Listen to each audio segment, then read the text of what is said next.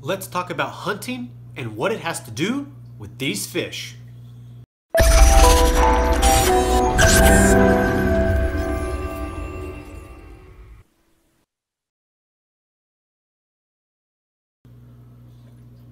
So we are talking about predator haps and how they hunt for smaller cichlids like small mbuna and sometimes small haps in Lake Malawi. So the first one we're going to talk about is the Nimbochromis fusco. This is an ambush predator and these are beautiful fish. This guy is nowhere near maturity and uh, excited to watch him grow. Next is the Nimbochromis linni. Now the linni, as you can see, has a very different looking snout. Different from all the rest by a lot.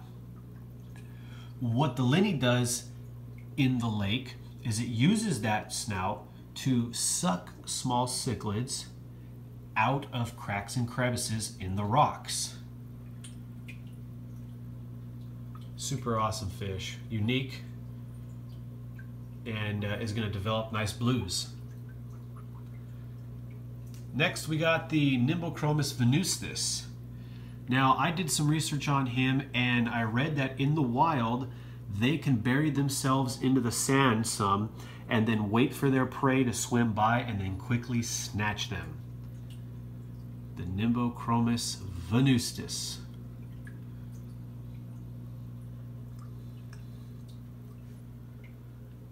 Now this guy is unique. The Aristochromis christyi, known as the Malawi hawk. These fish will hover over their prey in a sideways form and then strike on their prey.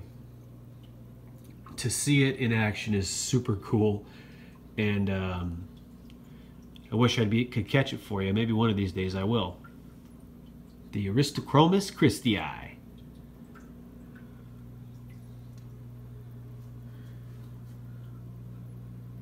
Here's the Dimidiochromis strigatus, another hunter. We got the Dimidiochromis compressiceps. This one hunts for small cichlids in planted areas of the lake. Dimidiochromis compressiceps, the Malawi eye biter. This is my Champsochromis calarius, the Malawi trout. Uh, excited to see this guy starting to form. You can see those egg spots on the tail. You can see some colors coming in. Uh, this is going to be a sweet fish to watch develop. Uh, and these are more open water swimmers, so they are going to catch their prey in, more open water. The Champsochromis calarius, Malawi trout. Look at this beauty. Wild caught Buccochromis nototaenia. Absolutely stunning quality, straight from the lake. Now these fish like to hunt their, um, their prey in sandy bottom areas of the lake. Super amazing cichlid, one of my favorites by far.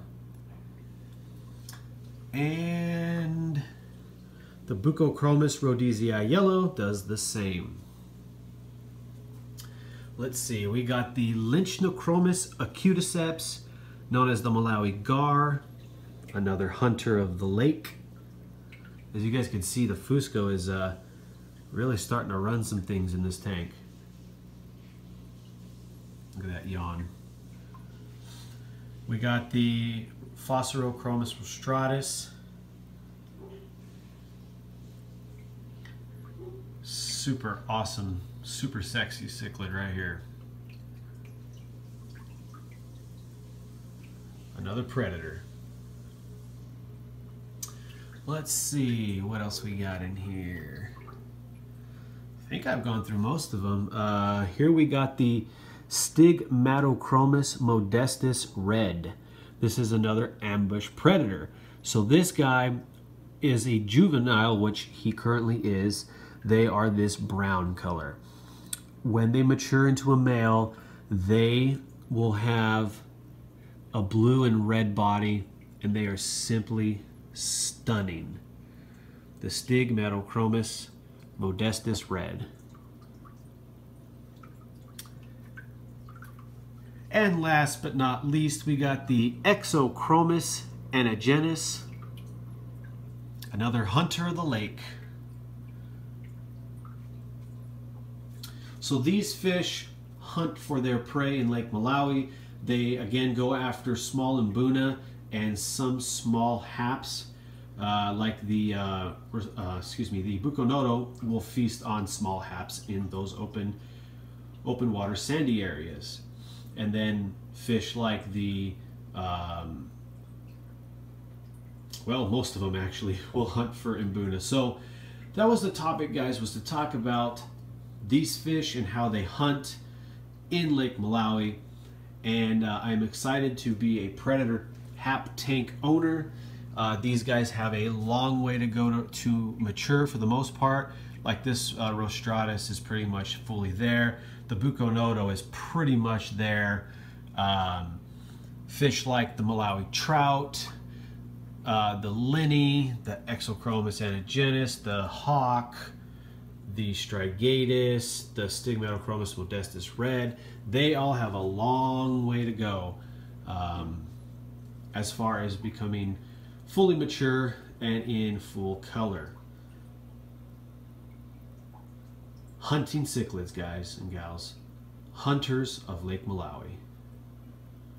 Everybody, please leave this video a thumbs up, a comment, hit that subscribe button, and stay tanked.